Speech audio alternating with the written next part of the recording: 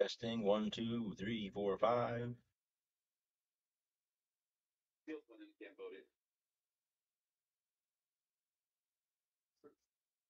Must have